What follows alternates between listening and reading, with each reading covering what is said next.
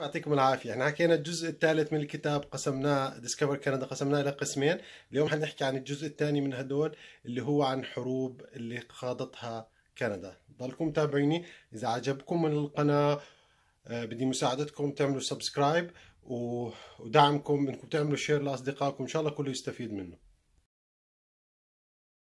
طيب هذا الجزء الثالث بدنا نحكي فيه عن الحروب نبدأ من صفحة 21 آه، الحرب الأولى اللي خاضتها كندا اسمها ال South African War دخلوا فيها 7000 آه، متطوع آه، من 1899 ل 1902 أو بسموها ال Boer War أو حرب الخنازير South African War ما فيش كتير عنها في 260 واحد مات يعني هذه هي المهمة. الآن الحرب العالمية الأولى اللي صارت 1914 آه، طبعا آه، كندا كانت حليفة ل آه، للولايات لبريطانيا فعشان هيك اضطرت إنها تدخل في الحرب ودخلوا بأكثر من 600 ألف جندي في هذه الحرب. معظمهم كان متطوعين وكان عدد سكان كندا أيامها 8 مليون فالعدد تقريبا تقريبا يعني عشر السكان آه، في آه، أهم شيء قاموا فيه الكنديين اللي هو فيمي ريدج. آه، معركة فيمي كانت من أشهر المعارك اللي بيفتخروا فيها الكنديين لأنها تقريبا أنهت الحرب العالمية الأولى في 1917 شهر 4 إبريل نيسان. آه، في حوالي عشرة آلاف جندي آه، تصاوبوا وماتوا واستشهدوا في هذه الحرب وفازت فيها القوات البريطانية على آه، قوات الألمان. وبالتالي تقريبا أعادوا هذه المنطقة. وعشان هيك كل سنة في أبريل 9 في عنا يوم اسمه فيمي داي. احفظوا هذا التاريخ فيمي داي. في 1914 ل 1920 برضه في حوالي 8000 آه، شخص في كندا آه، من أصلهم من من أوستريا وهنغاريا ومعظمهم أوكرانيين كانوا محطوطين في آه، كندا في كامبس خافوا إنهم يكونوا جواسيس للألمان.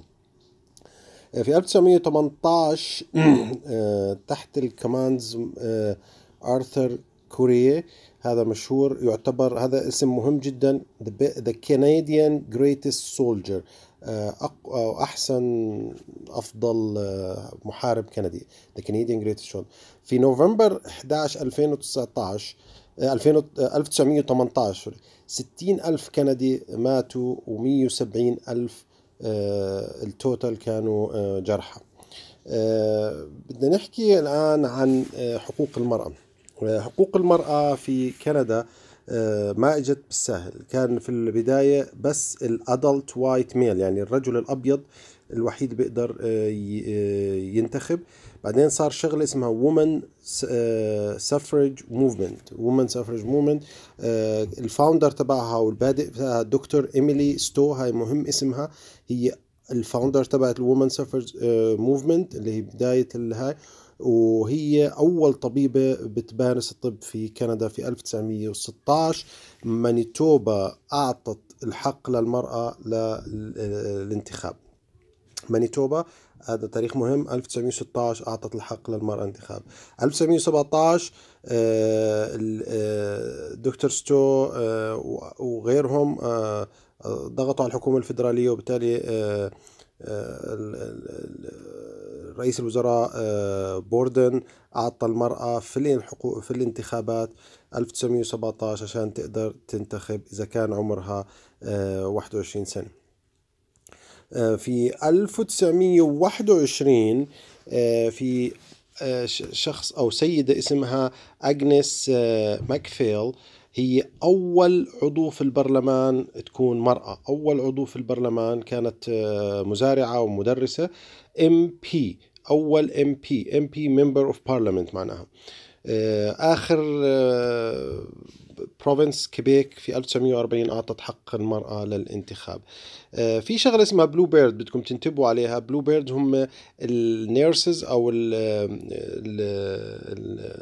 اللي شاركوا في الحرب العالمية وكان عددهم 2500 nurse طيب الصفحة اللي بعدها آه، رح نحكي عن آه، نوفمبر 11 اللي هي تعتبر آه، يسمى ال Remembrance Day كل سنة هذا يوم عطلة في كندا نوفمبر 11 الشهر الحادي عشر يوم 11 الساعة 11 الظهر بتوقف كل بوقفوا كلهم تكريما للأشخاص اللي ماتوا عددهم 110 آلاف في الحرب العالمية.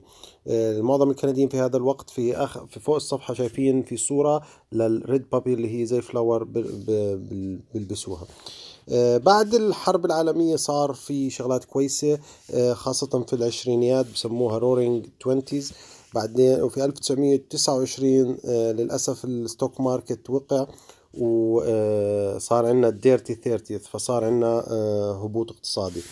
هون الشخص هذا اللي تحت بس تعرفوا اسمه فيل ادوارد مهم هو حصل على برونزية هو طبيب وبرضه شارك في الحرب وكان بالجيش.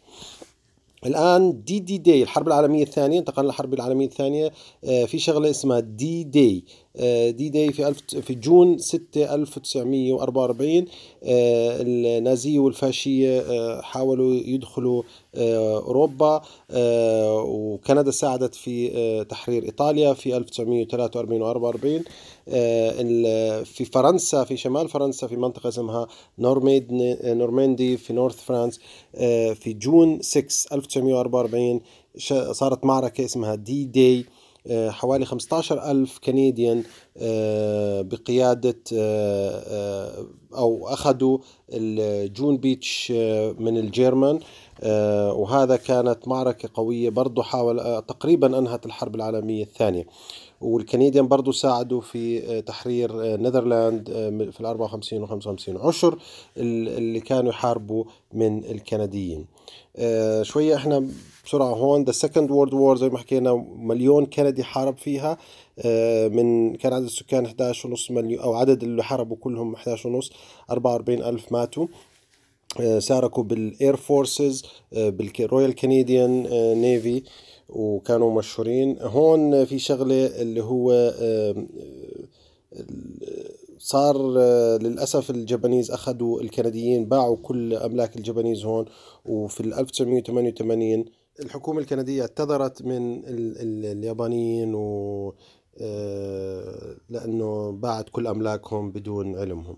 عجبتكم القناة بأمل منكم كلكم تعملوا subscribe لايك كومنت وشير